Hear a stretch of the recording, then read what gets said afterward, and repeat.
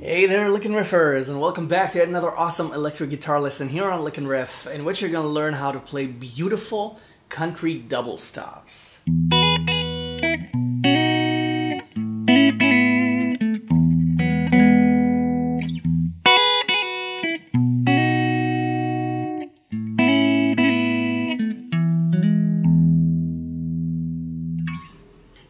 Gonna share with you the secret to what makes and creates this sound.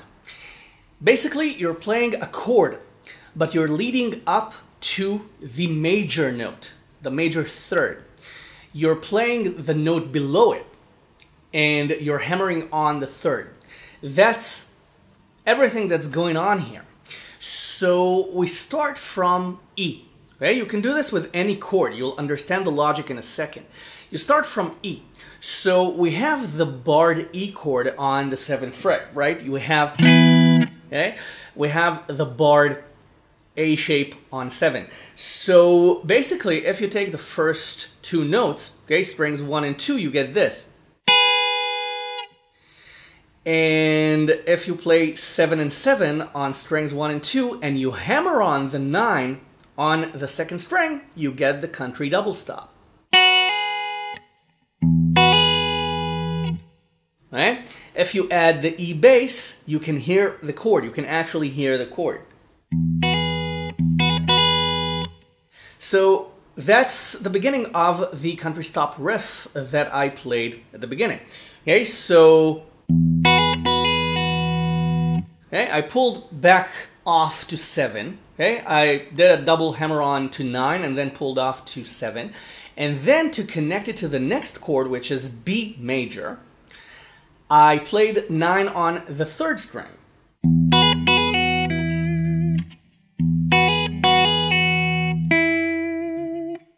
Okay? And then I used my thumb to play the B bass note. Okay? Seven on the sixth string. Now, if you take a B major chord and you play strings two and three, you get this. Okay, which is seven and eight.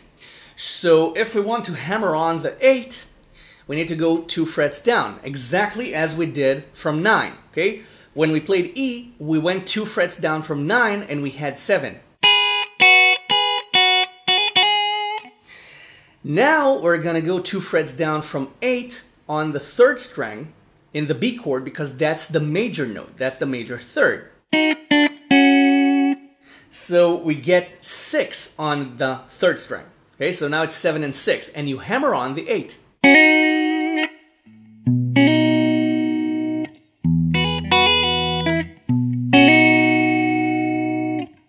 Okay, you see, it's the exact same idea. The exact same idea. It's just a different fingering because it's different strength sets. So now you have two options for the next chord. The next chord is the A chord. Now you can do exactly what you just did on B, two frets down. And if you play the open A string, you'll hear the A chord. Okay? You have five on the second string, four on the third, and you hammer on the sixth. Now, you have another option here.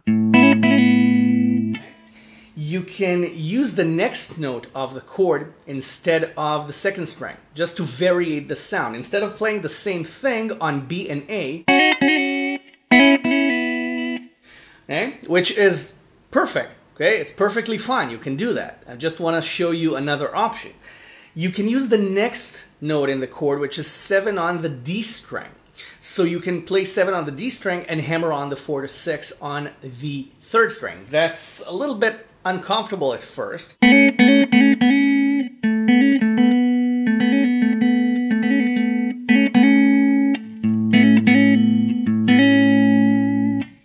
Right? But you you will get used to it. This is a beautiful sound. So you can do this with A as well. So you have two options. Okay, with the high note or the low note. So the last chord is back to E.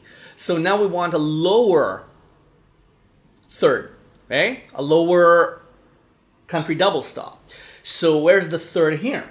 Okay, it's the C-shaped bar on four, which creates the E chord. Okay, so the third, the major third, is six on the D string. So you can do the same uh, thing that you did on the first E chord, just down an octave.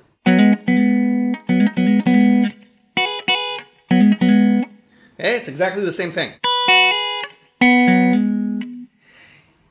You bar 4 and you hammer on the 6 on the D string, and you play strings 3 and 4.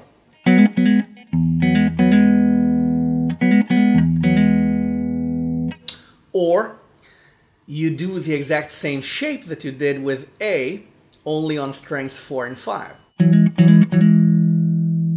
Okay? You have 4 and 7 on strings 4 and 5 this time. And you hammer on the 6 on the D string. You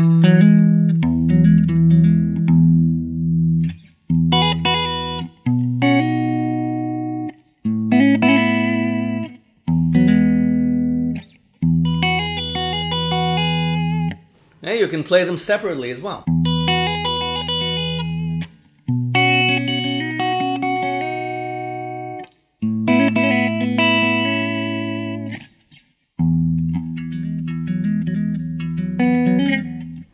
Can also play all three notes here.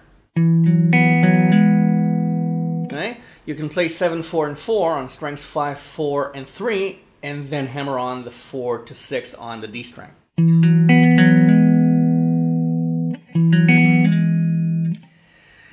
You can do the same thing on A, but it's a little bit more difficult. Okay? Because you have to put this on. 5, 4, and 7 on strings 2, 3, 4. Okay? 5 on the second string, 4 on the third, 7 on the fourth.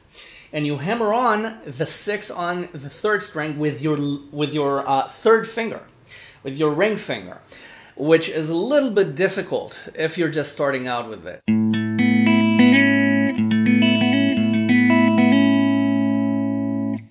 Now this is exactly the same idea as this.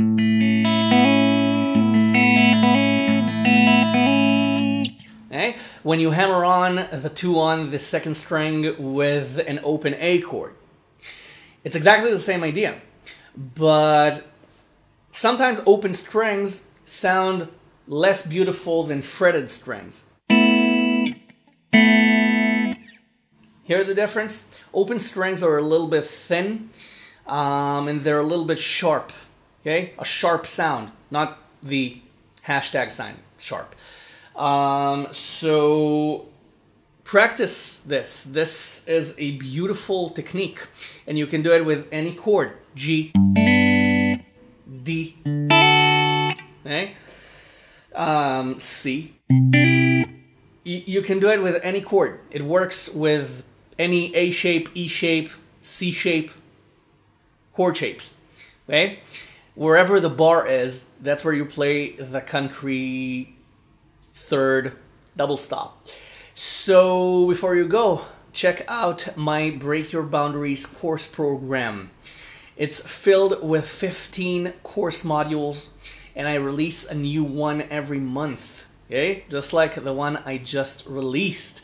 So check it out, licknriff.com slash courses and join my Break Your Boundaries course program. It's a digital recorded course program with 15 different courses, including two bonus courses. So go check it out, licknriff.com slash courses, and I will see you the next lesson. Thank you very much for watching. Bye for now. Enjoy.